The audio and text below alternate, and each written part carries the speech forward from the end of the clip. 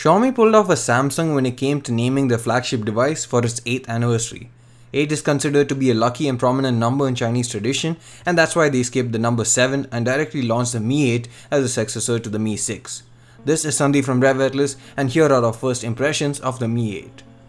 The Mi 8, like all its predecessors, aims to be one of the most affordable flagship options on the market. Prior to OnePlus devices, getting an affordable flagship meant most often getting a Mi flagship, and the Mi 8 is no different. It's available in three different variants, all with 6 gigs of RAM and either 64, 128 or 256 GB storage options. We have the 6 plus 256 GB variant here and there's a high-end special version called Explorer Edition with 8 gigs of RAM, 256 gigs of storage, a transparent back panel and an in-display fingerprint scanner. On this model however you get a rare mounted fingerprint scanner that's quite snappy as well. The Mi 8 is definitely a looker, Although it may be strikingly similar to their other offerings, especially when it comes to the placement of the cameras at the back, it still looks and feels great. The solid build gives a premium feeling and the curved back handles well. It's a bit slippery, so a case will probably feel at home on the Mi 8's back. Despite having a screen that's practically as big as the S9 Plus, the phone is much more compact in terms of height, thickness, and even weighs lesser, but is a tad bit wider. Despite being almost an entire millimeter thinner than the S9 Plus, Xiaomi has somehow managed to cram a 3400 mAh battery into the phone which seems to give good results in our usage so far. It also supports Qualcomm Quick Charge 4.0 Plus as well so you can top the battery up in no time.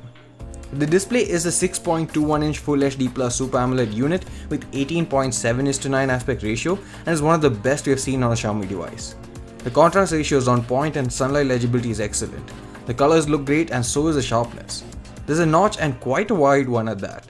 But there's a reason for that. It has a 3D IR face scanner which is similar to what you find on the iPhone 10. So even if there's a notch that you probably don't like, at least there's a reason why it's there and why it's occupying so much room. The phone runs on Android 8.1 Oreo with MIUI 9.5 on top of it. Performance has been extremely fluid and stable so far thanks to the Snapdragon 845 chipset from Qualcomm. It also has dual nano SIM card support but no scope for memory expansion. One of the standout features and possibly one of the first in the smartphone world is the dual GPS which is said to be faster as well as more stable and accurate compared to the regular GPS modules fitted on smartphones.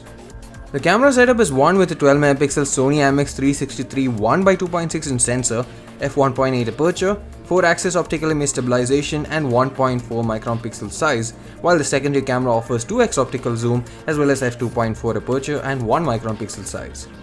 There's a USB Type-C port at the bottom and yes, the 3.5mm audio jack is gone, but there's an adapter in the box.